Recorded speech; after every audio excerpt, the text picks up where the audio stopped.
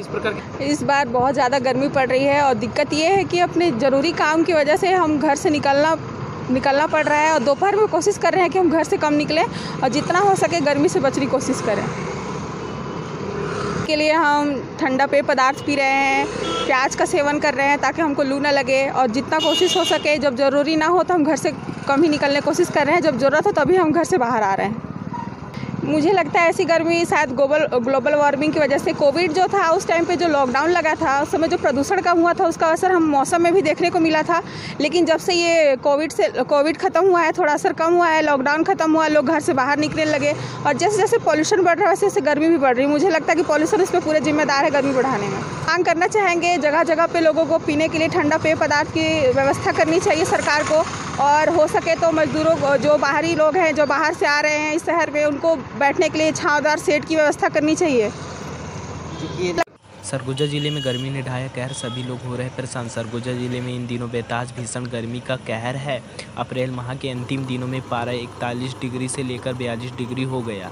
इस भीषण गर्मी में समान जीवन अस्त व्यस्त नज़र आ रहा है।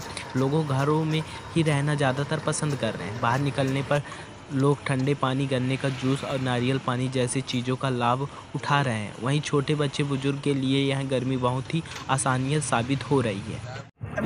नाम बताइए। जी मैं दिनेश गुप्ता बोल रहा हूँ। मैं यहीं अंबिकापुर से रहने वाला हूँ। गर्मी किस प्रकार से आप महसूस कर रहे हैं? गर्मी के समय में लोगों को राहत के लिए ठंडा पेय हमेशा लेते रहना चाहिए। जैसे नारियल का पानी हो गया फ्रूट्स हो गया जूस हो गया इस तरह से लेने से क्या है कि आदमी को लू लगने से भी बचा जा सकता है और लोगों को गर्मी में विशेष कर बच्चों से लेकर सभी को सावधानी बरतने की ज़रूरत है। प्रकार प्रभावित है? देखिए काम की बात करें तो दोपहर में सारी चीज़ें काम में ठप हो जा रही है क्योंकि लू लगने से आदमी तबीयत खराब हो जाता है। इससे अच्छा आदमी कोशिश करता है कि घर पे रहे और सुबह और शाम में आदमी कोशिश करता है कि वो समय में अपना काम कर ले।